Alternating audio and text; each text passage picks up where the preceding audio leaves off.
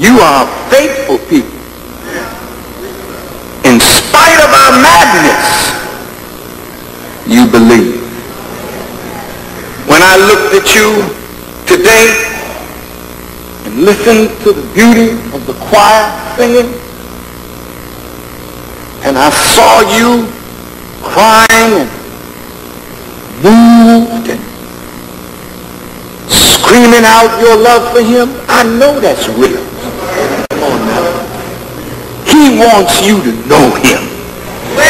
Know him so well that you can gain victory over death.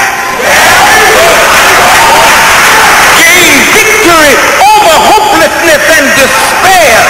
That you can be retrieved. You can be found and brought back. You can be dead and brought alive because Jesus rose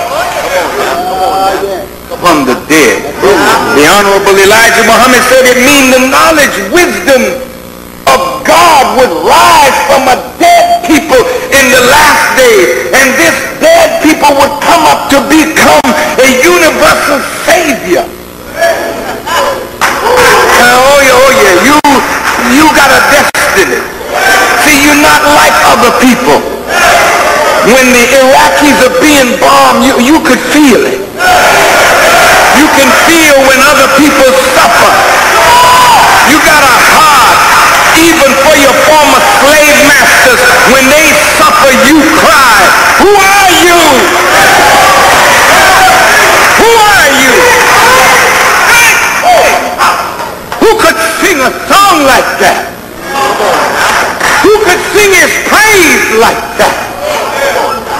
You the people of God. You are the creative nation. You don't have Mr. Jackson as your father, Mr. Wolf, Mr.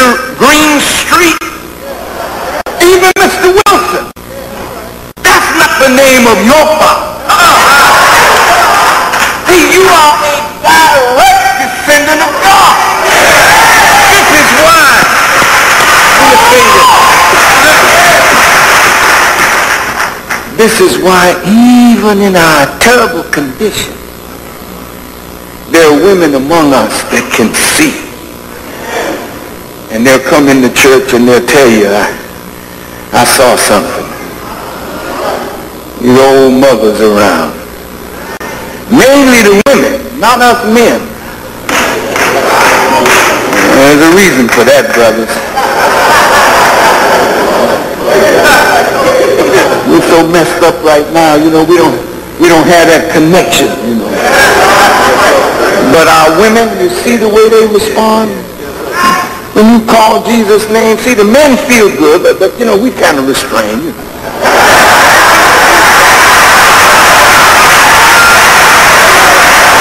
And we with you, Lord. You know. We down with you, Lord.